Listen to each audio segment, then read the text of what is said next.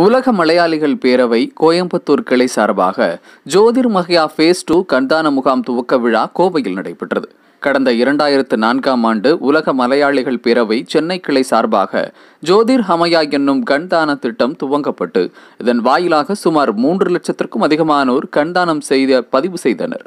லிம்கா உலக சாதனை புத்தகத்தில் பதிவு செய்யப்பட்ட ஜோதிர் ஹமையா ஃபேஸ் டூ திட்ட துவக்க விழா கோவையில் நடைபெற்றது.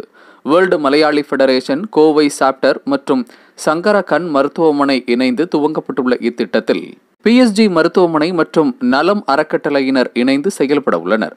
இதன் துவக்க விழா காந்திபுரம் பகுதியில் உள்ள மலையாளி சமாஜ அரங்கில் நடைபெற்றது.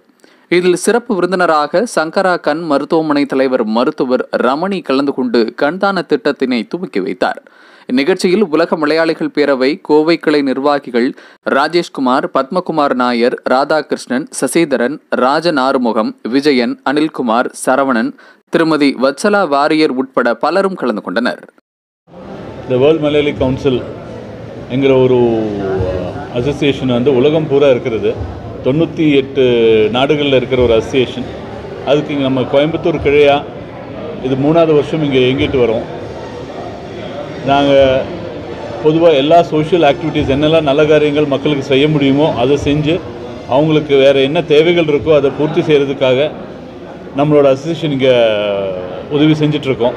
இதில் எங்களோட சேர்மன் செக்ரட்டரி ட்ரெஷரர் அங்கங்கள் எல்லோரும் சேர்ந்து ஒட்டொருமையாக இருந்து கோவைக்கு வேண்டிய காரியங்கள் செஞ்சு அதை பூர்த்தி செய்யணுங்கிறது எங்கள் கோரிக்கை. ஸோ அந்த கோரிக்கையை எப்படி வேணாலும் முடிந்த அளவுக்கு நம்ம நிறைவேற்றுவோம். இன்றைக்கி வந்து இது ஒரு ஃபேமிலி கெட் டுகெதராக இருந்து மக்களுக்கு கண்தானம் எப்படி பண்ணலாம் அதுக்கு என்ன நிறைய பேர் நினச்சிட்டு இருக்காங்க கண்தானங்கிறது ஒரு பயங்கரமான காம்ப்ளிகேட்டட் இஷ்யூ அப்படிங்கிறது. அது ஒன்றுமே இல்லை சிம்பிள் தான் அப்படிங்கிறது காமிக்கிறதுக்கு வேண்டி Sankara eye ஃபவுண்டேஷனோட doctor Padmashri doctor Ramani sir வந்து அதை எக்ஸ்பிளைன் பண்ணுறாங்க அது கூட டாக்டர் வந்தனா சுந்தரராஜன் அவங்களும் வந்து ஒரு சின்ன ஒரு பிபிடி ப்ரெசன்டேஷன் பண்ணி மக்களுக்கு எளிதாக எப்படி பண்ண முடியும் அப்படின்னு காமிக்கிறதுக்காக இன்றைக்கி இந்த ஒரு அசோசியேஷன் நடத்தி எல்லாருக்கும் ஒன்று இதை பற்றி தெரிவிக்கலாங்கிறது தான் எங்களோட ஐடியா ஏரியன் ப்ராஜெக்ட்ஸ் தான் நம்ம பண்ணுறது.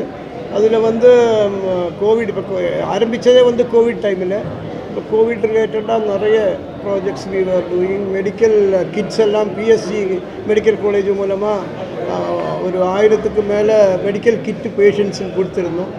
அப்புறம் அவேர்னஸ் ப்ராஜெக்ட்ஸ் போலீஸுக்கு அப்புறம் ஸ்கேவஞ்சர்ஸ் அண்ட் ஹெல்த் ஒர்க்கர்ஸ் இவங்களுக்கெல்லாம் கோவிட்டை பற்றி அந்த கோவிட் ஆக்ஷன்ஸை நம்ம ரெஸ்கியூ ஆக்ஷன்ஸை பற்றி எல்லாம் அவேர்னஸ் கிளாஸஸ் கண்டினியூஸாக எடுத்துகிட்டு இருந்தது. அது எங்கள் மெம்பர்ஸ் எல்லாருமே அதுக்கு ரொம்ப ஆக்டிவாக அந்த டைமில் கோவிடில் யாருமே வெளியே வராத டைமில் எங்கள் மெம்பர்ஸ் வந்து ரொம்ப ஆக்டிவாக ஒர்க் பண்ணிகிட்டு இருந்தது. அது தேவர் டூயிங் இட் அண்ட் அதுக்கு அப்புறம் நம்ம மருதுமலையில் ஒரு லெப்ரசி கேம்ப் அந்த லெப்ரசி கேம்புக்கும் அப்புறம் அன்பாலயங்கிற மென்டலி ரிட்டார்டட் சில்ட்ரன் அன்பாலயத்துலேயுமே ரெகுலராக க்ளோத்தும் ஃபுட்டும் நம்ம கொடுக்குறோம். அது ரெகுலராக இண்டிவிஜுவலி இல்லைன்னா அசோசியேஷன் அப்படி ரெகுலராக இருக்குது கொடுத்துட்ருக்காங்க ஆமாம் அப்புறம் ஐம்பத்தி ரெண்டு ஐம்பத்தி ரெண்டு மெடிக்கல் கேம்ப் நம்ம பண்ணுறோம் அதுக்கு ப்ராஜெக்ட் பார்ட்னர்ஸ் யாருன்னா பிஎஸ்ஜி மெடிக்கல் காலேஜும் இந்த சிட்டி எம்எல்ஏ வானதிக்கும் சேர்ந்து நம்ம ஐம்பத்தி ரெண்டு மெடிக்கல் கேம்ப் பண்ணுறோம் அதில் ஒரு பத்து பதினஞ்சு ஆல்ரெடி ஓவர் பதினெட்டு ஆல்ரெடி முடிஞ்சாச்சு. பாக்கி ஆல்சோ கம் சமீபத்தில் பண்ணிடுவாங்க.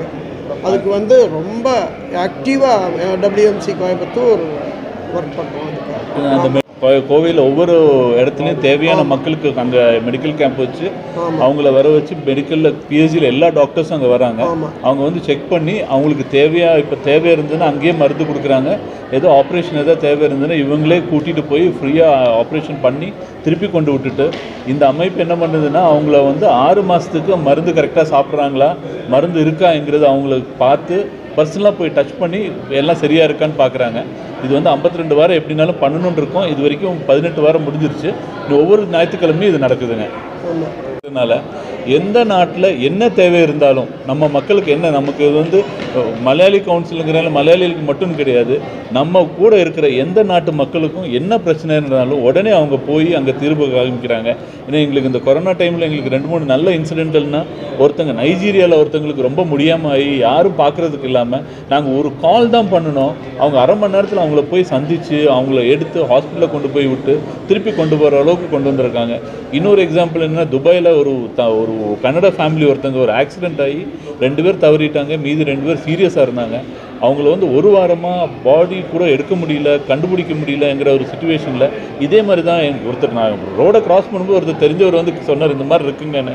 நானும் சும்மா தற்செயலாக அவங்கள கூப்பிட்டு சொன்னதில் இருபத்தஞ்சாவது நிமிஷம் ஹாஸ்பிட்டல் போய் அவங்க பார்த்து அவங்கள ரெடி பண்ணி அன்னைக்கே மினிஸ்ட்ரி லெவலில் மூவ் பண்ணி அடுத்த நாள் பாடி கோயம்புத்தூர் வந்து சேர அளவுக்கு உதவி செய்கிறாங்க ஸோ நமக்கு எதுனாலும் அவங்கள ஒரு வாட்டி கூப்பிட்டா உடனே நடக்கிற அளவுக்கு ஆளுங்க வச்சுருக்காங்க. எல்லாமே ரொம்ப உரிமை எடுத்து பண்ணுறாங்க அது மட்டும் இல்லாமல் கொரோனா டைம் வந்து நிறைய அவங்களுக்கு ஸ்பெஷல் ஃப்ளைட்டே சார்ட்டர் பண்ணி நிறைய மக்கள் அங்கேருந்து அனுப்பிச்சி வச்சாங்க. ஸோ எதுனாலும் முன்னாடி நின்று பண்ணுற ஒரு அசோசியேஷனை இது விளங்குதுங்க. கேரளாவிலையும் தமிழ்நாட்டிலையும் கொடுத்துருக்கோம். ஃப்ரீயாக தௌசண்ட்ஸ் ஆயிரக்கணக்கில் ஆக்சிஜன் கான்சன்ட்ரேட்டர்ஸ் கொடுத்துருக்கு. அதை வந்து ஃபுல்லி பெய்டு பை டபிள்யூஎம்சி அமெரிக்காவில் அமெரிக்காவில் யூஎஸ்ல இருந்து வந்திருக்கு. ஆமாம் மாதிரி ஃப்ளட் இதுக்காகங்க நடந்ததுக்கு நமக்கு தெ நம்மளோட ஒரு தலைவர் ஒருத்தர் ஒரு எட்டு ஏக்கர் இடம் கொடுத்து அதில் ஒரு நூறு வீடு கட்டுறாரு. அதில் இப்போ ஆல்ரெடி பன்னெண்டு வீடு கட்டி முடிச்சிட்டாங்க. இப்போ இந்த ரொம்ப முடியாத வீடெல்லாம் போனவங்களுக்கு அந்த வீடு கொடுக்குற ப்ராஜெக்ட் நடந்தது. கேரளாவில் க்ரீன் வேலி ப்ராஜெக்ட் அப்படின்னு சொல்லிட்டு. இதே இது சென்னையில் வந்து ரொம்ப பெரிய அளவில் வேர்ல்ட் மலையாளி கவுன்சில் பண்ணுறாங்க ஆல்மோஸ்ட் அவங்க நூறு வீடுக்கு மேலே கட்டி கொடுத்துருக்காங்க. ஆயிரக்கணக்கான மக்களுக்கு தேவையான உதவிகள் செஞ்சு ரொம்ப பெரிய லெவலில் சென்னையில் நடத்திட்டு இருக்காங்க. இந் தமிழ்நாட்டில் வந்து சென்னை அடுத்தது கோயம்புத்தூர் ரெண்டு சாப்டர் தாங்க இருக்குது ரெண்டுமே முடிஞ்ச அளவுக்கு இனியும் மேலே மேலே நல்ல காரியங்கள் பண்ணி நாட்டுக்கு உதவணுங்கிறது எங்கள் ஐடியா ஜோதிர்கமியா ஃபேஸ் டூ அப்படிங்கிறது கண் தானத்தை பற்றி விவரிக்கிறதுக்காக இன்றைக்கி ஒன்று ப்ரோக்ராம் பண்ணுறோங்க இது வந்து டூ தௌசண்ட் த்ரீயில் எங்களோட சேர்மன் ஒருத்தர் ஏவி அனுப்குமார்ங்கிறவர் கேரளாவில் பண்ணாருங்க. அது வந்து மெடிமிக்ஸோட சேர்மன்க அவர். அவர் வந்து வேர்ல்டு லெவலில் இன்றைக்கி கின்னஸ் ரெக்கார்ட்லேயும் லிம்கா புக்ஸ் ஆஃப் ரெக்கார்ட்ஸ்லேயும் உலகம் தெரிகிற அளவுக்கு ஒரே ப்ரோக்ராம் மூணு லட்சத்து இருபதாயிரம் பேர் கண்தானம் பண்ணியிருக்காங்க அந்த ப்ரோக்ராமில் அது வந்து உலகத்திலே பெருசாக பேசப்பட்டது. அது வந்து அவருக்கு முன்னாடி கொண்டு போகணுன்னு ரொம்ப ஆசை. இது வரைக்கும் யாரும் பண்ண முடியல. அதனால் நம்ம கோயம்புத்தூரில் அவருக்கு எடுத்து செஞ்சு இப்போ ரெண்டாவது தான் நம்ம இங்கே ஃபேஸ் டூ ஆரம்பிச்சிருக்கிறோம். இது ரொம்ப நல்லா போகணுங்கிறது தான் எங்களோட இதுவும் உங்களோட ஹெல்ப் இருந்ததுன்னா கண்டிப்பாக இதை ரொம்ப பெரிய லெவலில் பண்ணலாங்க. தேங்க்யூ